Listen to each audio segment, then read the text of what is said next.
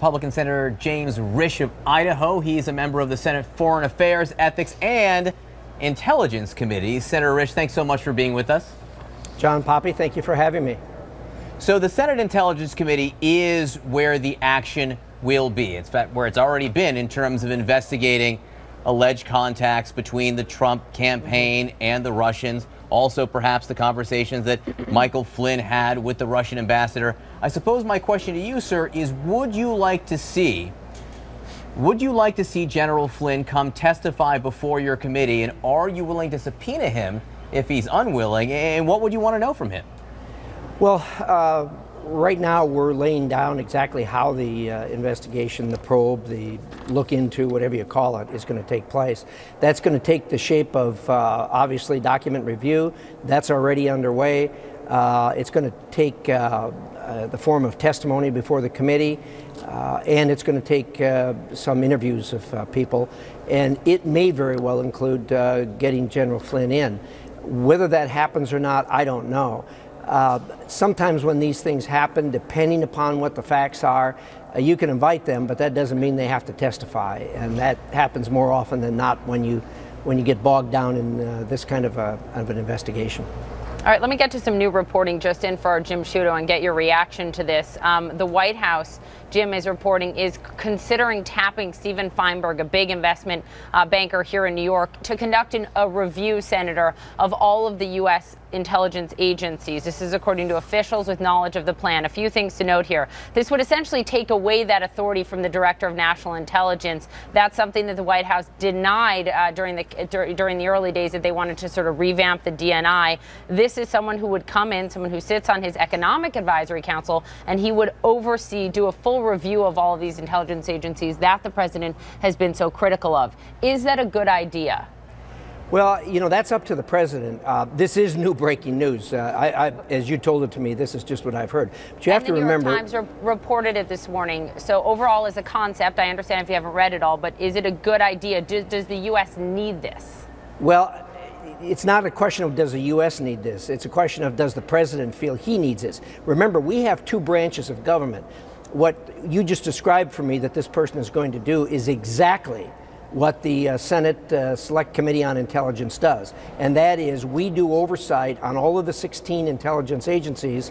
In addition to that, we also do oversight to see that they're doing their job. We also do oversight to see that they're not infringing on uh, U.S. Uh, citizen privacy concerns. So that's our bailiwick. That's what we do. So whatever he does, uh, for the president, uh, that would be up to him. If the president feels that he needs to uh, have a look at this and have someone advise him as to what the first branch of uh, government is doing as far as the uh, committee operation is concerned, uh, that's certainly up to him. We cooperate very well with the mm-hmm. with the intelligence agencies.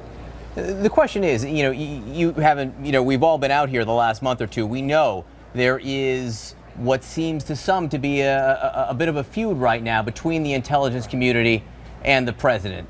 It well, happened before the inauguration. It may be ongoing right now. And again, your concern isn't just for the administration, but it's also for the intelligence services itself. Do you think this will send a chilling messages to the rank and file? Uh, not necessarily, but uh, you know the, the point that you brought up is an excellent point. Here's what's happened.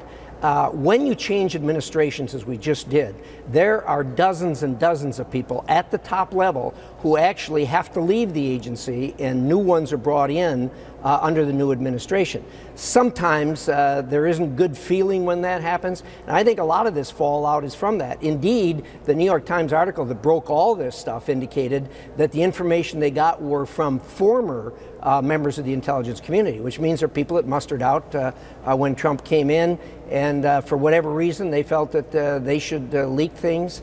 the president is absolutely right that that leakage of classified information is a criminal act.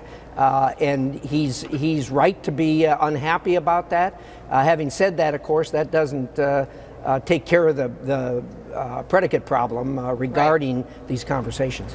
So, so, Senator, to John's point, I want you to listen to what Representative Steve King, a Republican of Iowa, said to our Alisyn Camerota just this morning, because it gets to the crux of the question, which is, you know, how, how far do you go here? Is there an intimidation is there fear of an intimidation uh, of intelligence officials? Let's hear what Steve King had to say. They have to find the people that are working against this administration, and they need to be purged from the intelligence community. His words, those people working against the administration need to be purged from the intelligence community. Do you agree with that? Well, I think they've already left. Uh, as I said, the articles themselves said these are former people that are uh, that are talking about that. Look, the Intelligence Committee is made up of tens of thousands of hardworking, good Americans uh, who uh, put their lives on the line in many instances. Uh, these these people are not the people that are involved in in the political aspects of this, and uh, the people who did this, who formerly were with the agency, do a real disservice uh, to those who have remained behind and work in these agencies and do the necessary work that America needs uh, to gather intelligence. Uh, I have no doubt that the people uh, uh, that are in the agencies and have remained there are as frustrated and unhappy with the uh, lawbreakers who have disclosed classified information. And but just to be clear. Yeah. Senator, just to be clear, because you, you, you called it a predicate problem. You, you, you still do think there are questions that need to be answered in terms of possible contacts between the Trump campaign and the Russians during the campaign, and also further light shed on what General Flynn discussed with the Russians.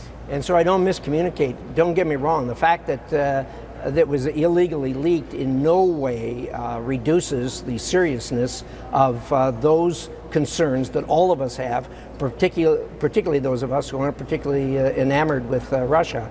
Uh, those are serious concerns, and they're going to be looked at. But as I said, there there are other issues here, uh, not the okay. least of which is uh, lawbreaking. All right, uh, Senator, we, we appreciate you joining us. Thanks for coming on. And it's also great of him to respond to the breaking news. I mean, obviously, Absolutely. he's hearing our report for the first time, and we do appreciate his willingness to talk to us about it as it happens. It's a good point. Uh, and we're going to have much more of this breaking news. A big report out from our